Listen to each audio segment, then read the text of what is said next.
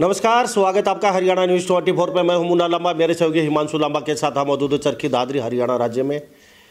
और नया जला बिना है हमारे साथ खास एक मेहमान फिर दोबारा से खास बातचीत में मौजूद है। अधिवक्ता, वकील, गुड्डू तक्षक और बातचीत करेंगे चौदह दिन के धरने की।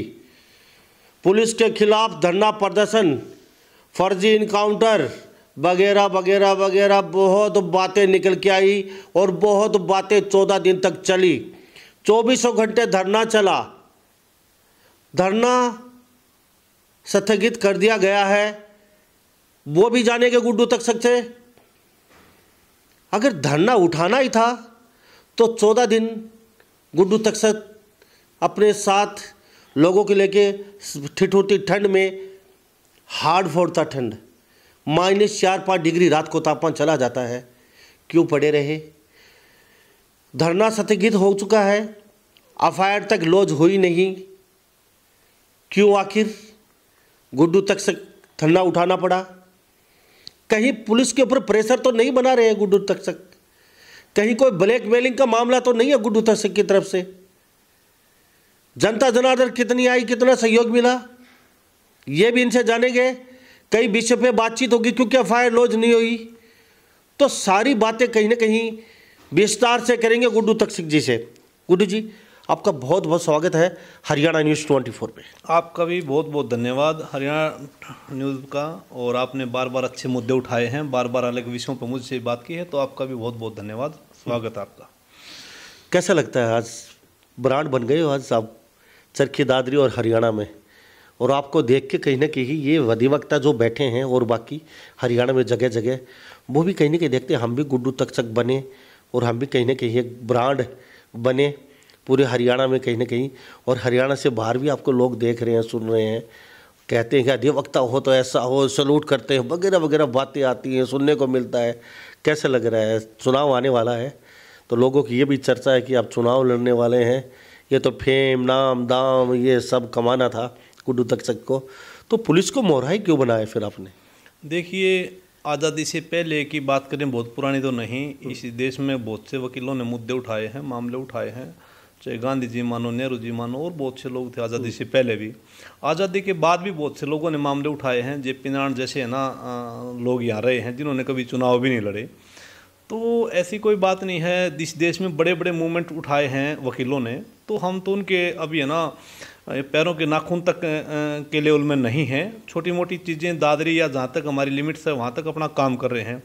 एक इंसान की जो मॉरल ड्यूटी है, हम वो निभा रहे हैं। सोसाइटी क्या सोचती है? पब्लिक क्या सोचती है? उनके भी अपने आइडिया ठीक हो सकते हैं।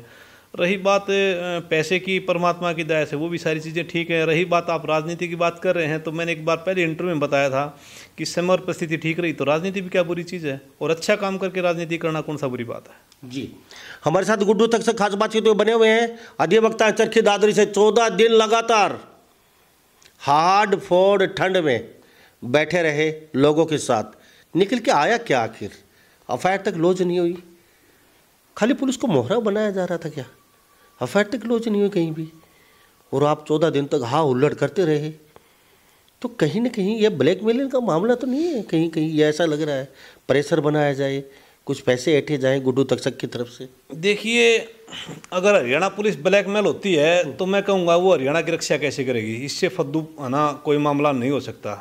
हरियाणा पुलिस के पास नहीं, हरियाणा सरकार के पास एक सीआईडी डिपार्टमेंट है, जो चीज़ों को देखिए सही क्या है, गलत क्या है। अगर हरियाणा पुलिस ब्लैकमेल हो रही है तो ये सरकार की नाकामी है।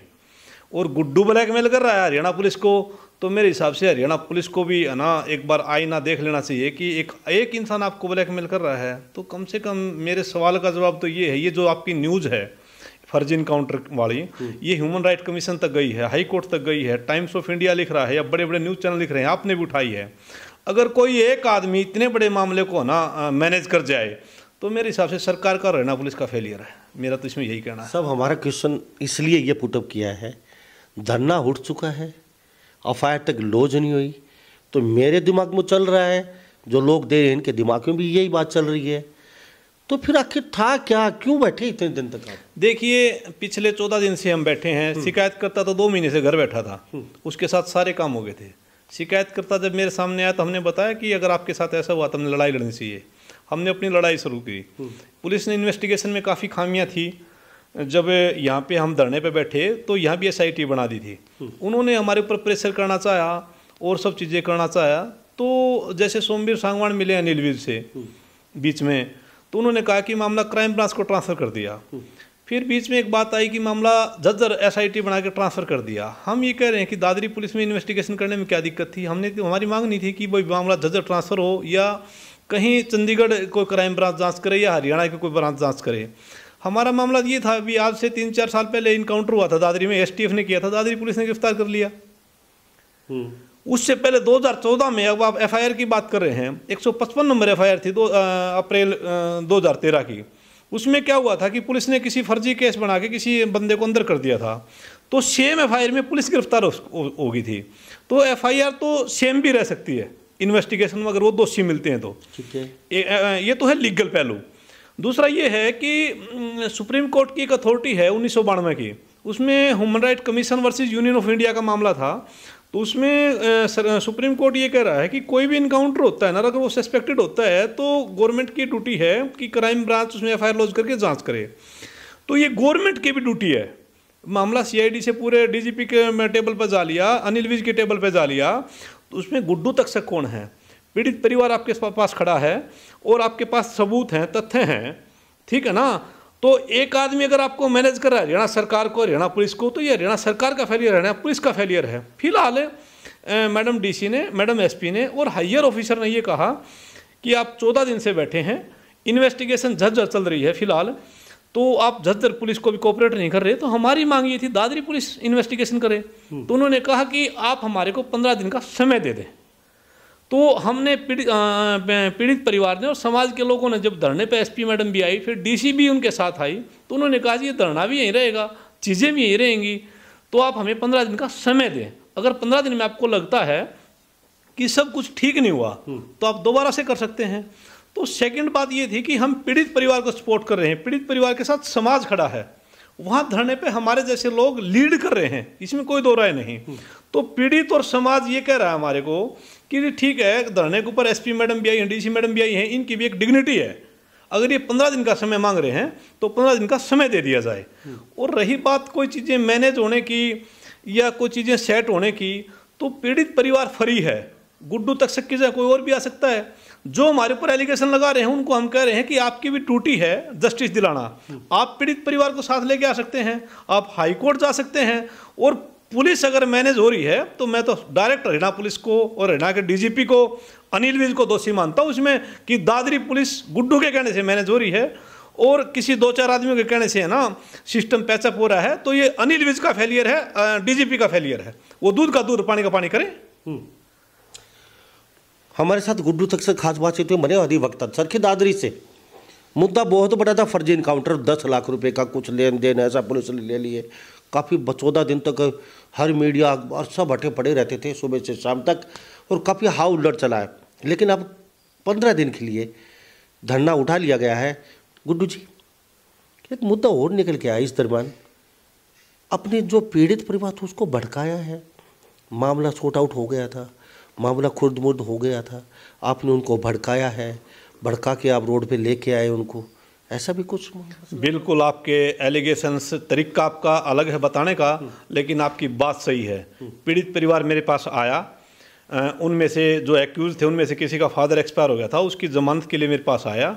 तो पीड़ित परिवार मेरे जूनियर हैं, उनके नोन थे, और ना, उन्होंने बताया कि ऐसे ऐसे भी पुलिस ने कर दिया। तो मैंने उनको कहा, जस्ट एसपी साहब के पास चलते हैं। आठ तारीख को पूरे पीड़ित परिवार मेरे पास आया था। हमने आठ तारीख को है ना पाँच सात आदमी के साथ एसपी साहब को बताया कि अपनी पुलिस ने ऐसे ऐसे कर दिया।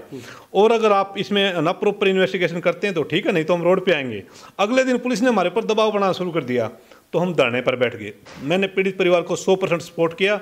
धरने पर दिन रात दिन रात सपोर्ट किया। It's my duty Guddu ji, क्या लगता है? चलो तो आप बता रहे हैं, चलो। पूरा सपोर्ट किया। पब्लिक का कितना सहयोग, जन जन सहयोग कितना मिल पाया आपको? कई कहते हैं जन सहयोग तो मिला ही नहीं आपको।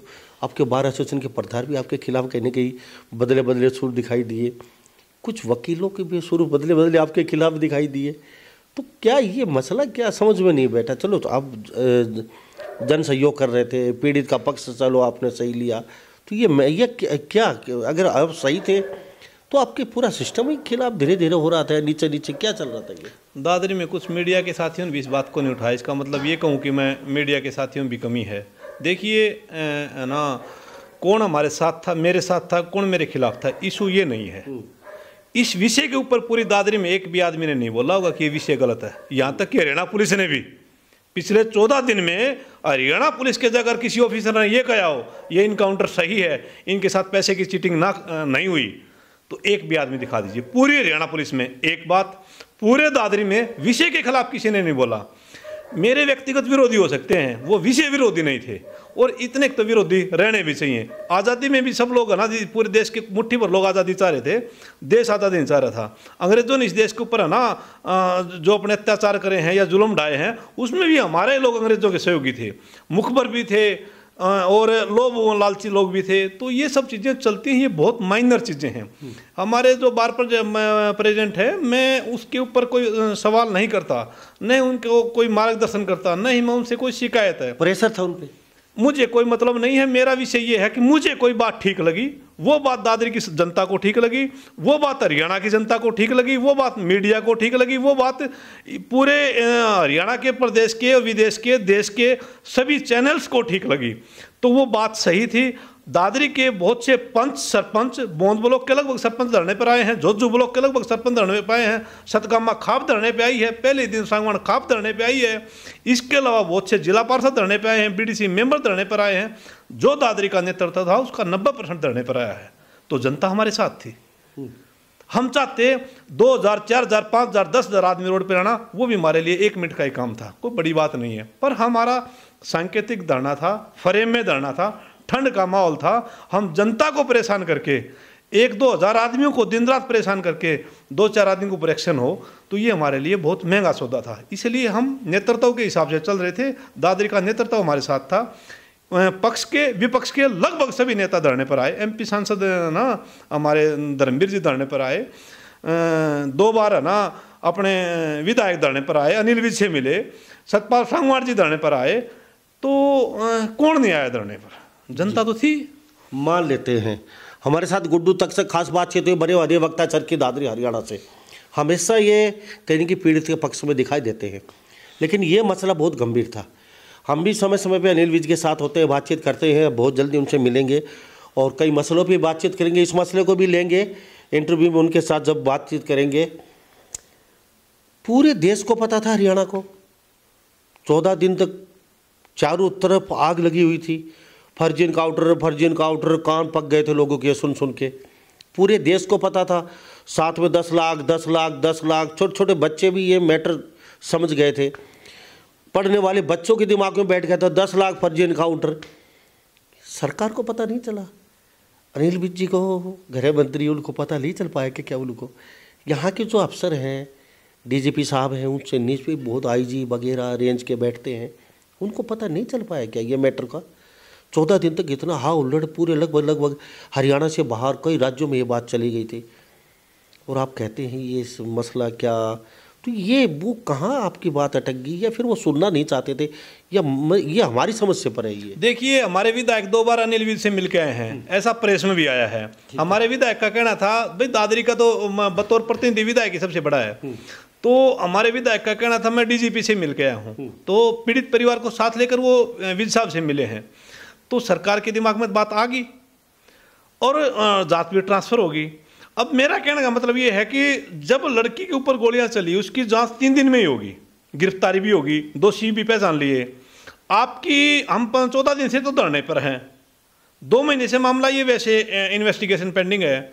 और अब पंद्रह दिन का और कह दिया। मैं तो यूँ कहता हूँ कि आपके चैनल के माध्यम से, अनिल विज को भी डीजीपी को भी या किसी और के भी, आप अपनी साख बचाने के लिए, इसमें दूध का दूध और पानी का पानी कीजिए। अगर पीड़ित परिवार के अगर झूठे आरोप हैं, और हमारे जैसे नेतृत्व करने वाले के झूठे आरोप हैं, हमारे को अंदर कीजिए, हमारे ऊपर भी मुकदमा बढ़ना चाहिए। अगर हम मैनेज करने के आरोपी हैं तो हमारे ऊपर मैनेज करने का मामले में हमारे को अंदर करना चाहिए। हम तो आपके चैनल के माध्यम से खुद ही कहते हैं। हाँ दादरी के अधिकारी, दादरी की जनता ये चाह रही है कि इनको पंद्रह दिन का समय दे दिया जाए। हमने समय दे दिया। उसमें कहीं फेलियर है तो पुलिस का है फेलियर है तो सरकार का है। हमारा क्या फेलियर है? हमने तो पहले दिन बता दिया था जी आप आपके ऊपर यही एलिगेशन है, दस लाख रुपए लिए हैं, फर्जी इनकाउंटर हुआ है।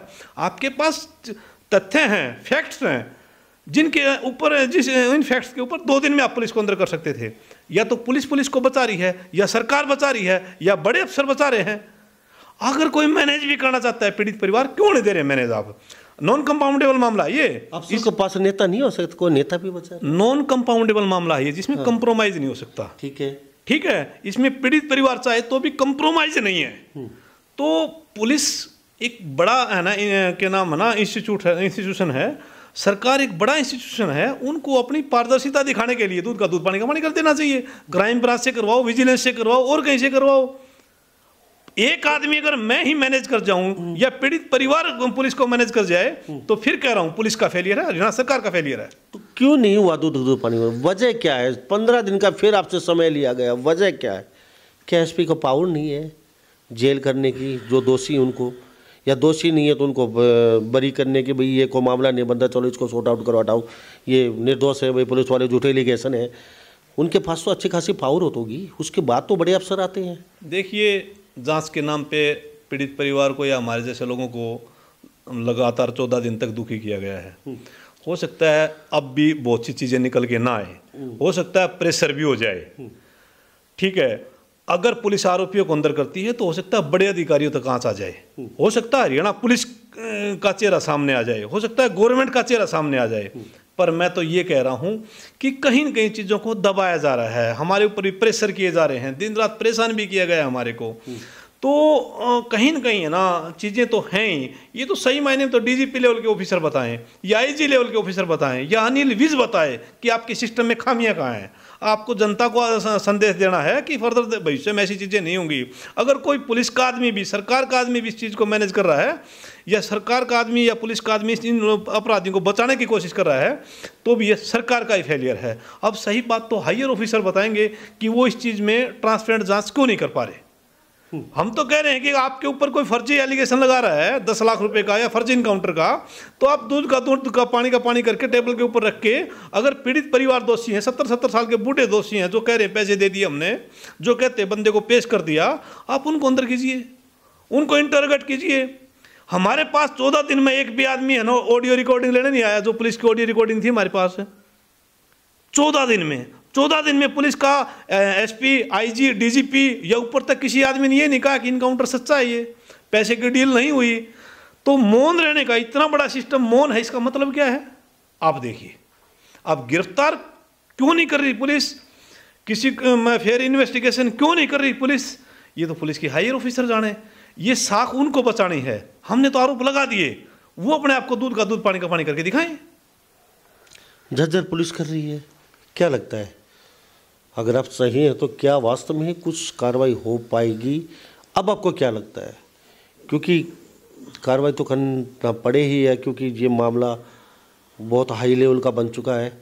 और यहाँ इस समय एसपी के हाथ की बात नहीं है एसपी कुछ कर नहीं सकती इसमें इस इस मसले को लेके तो कहीं ना कि ये बड़े अधिकारियों के बड़े नेताओं के और मुख्यमंत्री यानी बीच तक ये बात है तो क्या लगता है ये हो पाएगा कुछ इसमें मुझे है ना बड़ा ना मैं तो बह के साय में तो नहीं रह नहीं रहता लेकिन संदेह तो रहता ही है हम्म। पिछला जो इनकाउंटर हुआ था एसटीएफ ने इनकाउंटर किया था दो दिन में बंदा गिरफ़्तार हो गया था हम्म। उसके बाद पुलिस ने बहुत ज़्यादा प्रेस पुलिस के पास बहुत ज़्यादा कंडे हैं हम्म। इनका तो पूरा ऑर्गेनाइजेशन है पूरा हरियाणा लेवल पर ऑर्गेनाइजेशन है। तो ये किसी भी को भी तोड़ना चाहे यहाँ तक कि नेता को तोड़ना चाहे एम पी को तोड़ना चाहें उसको भी तोड़ना उसको भी परेशान करना बड़ा इनके लिए आसान काम है। तो पहले वाला इनकाउंटर केस था उसको इन्होंने मैनेज कर लिया था। पीड़ित परिवार को है ना एक नौकरी दे दी यहाँ पे डी सी रेट के ऊपर उसकी पत्नी को लड़के की पत्नी को दस लाख रुपए गवर्नमेंट ने देना पुलिस वालों ने इकट्ठे करके दे दिए एस पी डी सी वगैरह ने और चालीस लाख वो बाद में ले गया। उसके बावजूद भी एक जज ने उस कैंसिल रिपोर्ट को क्या नाम कैंसिल किया और बंदों को क्या नाम, उनकी बेल करवाई बंदों को। उनको नोटिस करके कोर्ट में सरेंडर करवाया दोबारा से। जबकि पुलिस ने उसको कैंसिल कर दिया था। तो पुलिस के दिमाग में ये हो सकता है कि इनको प्रेशर करके चीज़ों को मैनेज कर लें।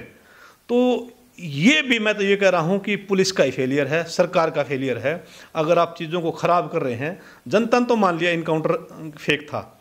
दादरी की जनता ने मान लिया हरियाणा की जनता ने मान लिया। मीडिया ने भी है ना मेरा तो सवाल ये है कि आप इसमें आप एसपी को एसपी बोले आईजी बोले डीजीपी बोले ठीक है? और चीज़ों को आप मिसमैनेज कर रहे हैं या मैसेज गलत दे रहे हैं या हमारे जो विरोधी हैं उनको उकसा रहे हैं या हमारे को तोड़ने की कोशिश कर रहे हैं तो कहीं ना कहीं सरकार गलत है सरकार के ऑफिसर गलत हैं जनता में आपकी साख खराब हो रही है और जनता का जो पुलिस के प्रति भय है आज लोग क्यों आए रोड के ऊपर? आज रोड पे लोग इसलिए आए कि चाहे थाने में जाओ चाहे चौकी में जाओ। पुलिस का जो अत्याचार है ना वो शरीफ आदमी पे इज्जतदार आदमी पे बरकरार है। अपराधियों पे बरकरार नहीं है। मैं कह रहा हूँ ठीक है लड़की पे गोलियाँ चली कानूनी रूप से वो सारी चीज़ें गलत थी। उनको दोषियों को सजा मिलनी चाहिए थी जिन्होंने गोलियाँ चलाई। ठीक है। पर पुलिस ने जो गोलियाँ चलाई वो किस कैपेसिटी में चला दी? क्या ज़रूरत थी उनको गोलियाँ चलाने की? जब सत्तर सत्तर साल के आदमी इकट्ठा होकर यूँ कह रहे हैं कि जी हमने उसको नौगांव गाँव से पेश किया था तो आपने उनसे चौदह दिन में एक बार भी पूछताछ नहीं करी इतने बड़े आरोप लगा दिए। वो कह रहे हैं जी हमारे फ़ोन में रिकॉर्डिंग है। चौदह दिन से आप रिकॉर्डिंग नहीं ले रहे। इसका मतलब तो ये सवाल तो श्रीमान जी जनता को सरकार के ऑफिसरों को ठीक है ना? ये सवाल तो उनसे करना चाहिए। जो। अपराधी हैं उनसे करना चाहिए दादरी एसपी से करना चाहिए। ये सवाल मेरे से क्यों? हम तो आरोप लगाने वाले हैं। कल को कहेंगे, जी, कोई रात को किसी का मर्डर करके चला गया। कल को पुलिस कहेगी, जी, पिस्टल आप ला के दो। ये तरीका गलत है। ये बात गलत है। तो हमारे एलिगेशन से, पीड़ित परिवार के एलिगेशन थे, सोसाइटी के एलिगेशन थे, वो हंड्रेड परसेंट सही थे, सही हैं। आगे जो देखनी है, जाँच का क्या मामला, क्या रहता है। पीड़ित परिवार, सोसाइटी ये चाहेगी कि हमें दोबारा लड़ाई लड़नी चाहिए तो हम दोबारा लड़ाई लड़ेंगे। अगर मामला ये आपका दूध गद्दू पानी के बंद नहीं होता है तो फिर अगर पीड़ित परिवार सोसाइटी साथ फिर दोबारा बैठ सकते हो धरने मैं कभी नहीं डरता इन चीज़ों से। मैं तो पीड़ित परिवार कल आके यूँ कह देगा, अभी धरने को उठा, दो दिन हुआ है कि काफ़ी चीज़ें गलत चल रही हैं। क्योंकि उसमें जो अफेक्टेड पार्टी है, वो पीड़ित परिवार है। कंप्लेनेंट पीड़ित परिवार है। ठीक है? तो मैं तो मेरी तो कोशिश ये रहती है कि अगर वो दो दिन बाद यूँ कह देंगे भाई दादरी पुलिस ने एक एसआईटी बना दी, नौ दस तारीख को ही। एसआईटी ने पीड़ित परिवार पर प्रेशर करना शुरू कर दिया। तो हमने सेम डे ही हायर ऑफिसर को मेल किया कि आपकी जो एसआईटी बनाई है, वो भी दबाव डालना चाहती है, वो हमारे को प्रेशर कर रही है, वो पीड़ित परिवार को दुखी कर रही है। तो मैं तो तीन दिन बाद भी पीड़ित परिवार आके यूँ कह देगा कि भाई, हमारे को ऐसे ऐसे प्रॉब्लम लग रही है, मैं तो तीन दिन बाद भी जो हमारे को बनता है सोसाइटी को साथ लेके धरने पे बैठना और कुछ करना, वो हम करेंगे। जी। तो हमारे साथ ये गुड्डू तक से खास बात से हुए, बने हुए हैं। चरखी दादरी से आते अधिक वक्त है। और चौदह पंद्रह दिन तक आपने देखा होगा पूरा माहौल, किस तरीके से इन्होंने पुलिस के खिलाफ मोर्चा खोल के रखा। फर्जी इनकाउंटर दस लाख चौदह दिन तक ये काफ़ी गमा गमी चली। और हर नेता, कहीं ना कहीं हर सरपंच, पार्षद, ब्लॉक, मेंबर, सब बड़े व्यापारी, छोटे व्यापारी, इनके धरने पे हमने देखे। लेकिन अब समय दिया है चौदह पंद्रह दिन का। दो दिन, तीन दिन बीत चुके हैं और गुड्डू तक्षत ने यह भी कहा है, अगर वास्तव में जो एस बनाई गई है, वो या पीड़ित परिवार पर या किसी और पर प्रेशर डालती है तो हम तुरंत लेटर डालेंगे उनका नाम लिख के, जो प्रेशर डाल रहे हैं इनके ऊपर ये ये सही जाँच नहीं कर रहे हैं। तो अगर फिर ज़रूरत महसूस होती है, कल या परसों में पीड़ित परिवार कहता है ये ऐसा हो रहा है तो कहते कि फिर दोबारा धरने पर बैठने में मजबूर होना पड़ेगा। तो इस मसले पर हमारी भी नज़र रहेगी बड़ी बारीकी से।